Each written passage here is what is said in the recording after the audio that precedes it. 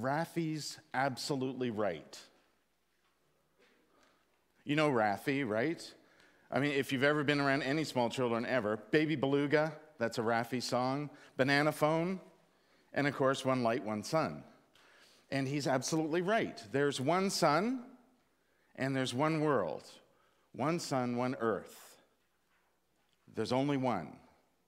Sure, okay, the sun is a star and there's bazillion of those in the universe. And sure, the earth is a planet and there's a bazillion of those, unless you don't count Pluto. We count Pluto, it's a planet. Did you see, did you see though, by the way, uh, not that long ago, uh, NASA or uh, one of those sciencey guys said that they discovered a planet uh, that is very much like the Earth. I think it was last year. Um, they discovered a planet that's very much like the Earth and can sustain life. And uh, one, way, one day we might go there, you know, kind of like Star Trek.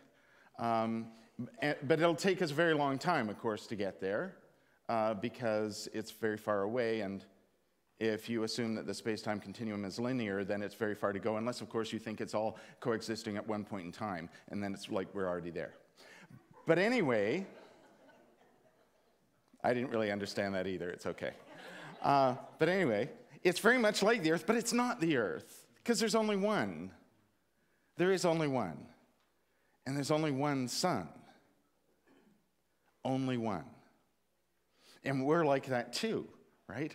There's, there's loads of people, but there's only one of you, and there's only one of me, thank goodness. There's only one. What do we do with that?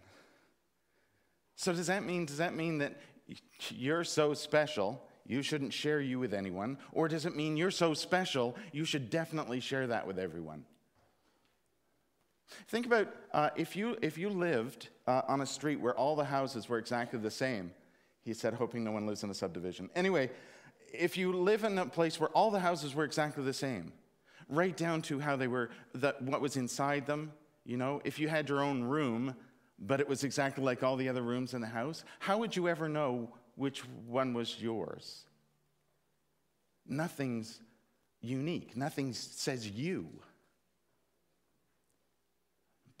But if, if you were to take that you and share it with other people, think of how amazing that would make everything. All the houses, all the rooms, and everything would be different, wouldn't they? Just like all the planets are different. And what a cool universe that makes. See, I think that's what Jesus means when he starts telling people things like, you should be like salt and light.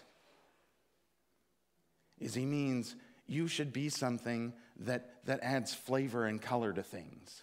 You should be the thing that lights up the world around you.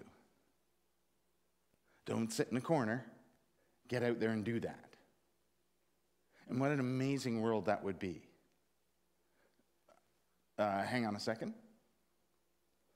That would create a world, wouldn't it, where everyone was just like me because I shared me with them, right? So you got to remember the two sides. It's not just about you sharing you, it's about you being open to other people sharing with you. That's what creates the colorful world. That's what makes the world an interesting place. That's what makes the world a place where I, I don't know, for instance, I, I don't bake. I don't bake. I don't like to bake. Uh, I, I, nothing turns out right for me, but other people can. So I do something else and I eat their baking. That's a hint.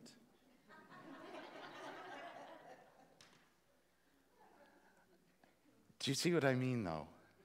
You can do things that I can't do. I can do things you can't do. Wouldn't it be a terrible world if we didn't share that? Wouldn't it be boring? Wouldn't it be boring if the whole world was all exactly the same?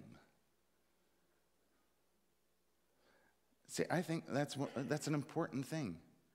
That Jesus teaches us not just to, to be there for other people and to find time for, for presence with other people, it's about sharing too. It's about sharing who we are with others and allowing them to share themselves with us. That's what being salt and light in the world is about. It's a, it's a cool phrase to say, But the living out of it is, is just so much greater. It's an amazing thing. Because, because the thing is, as much as we are all one, we are all unique. We're all individual. We're all who we are. And that's what makes that oneness so amazing. That's what makes that oneness so colorful, so bright. One, one sun, one earth, but all of us together making that.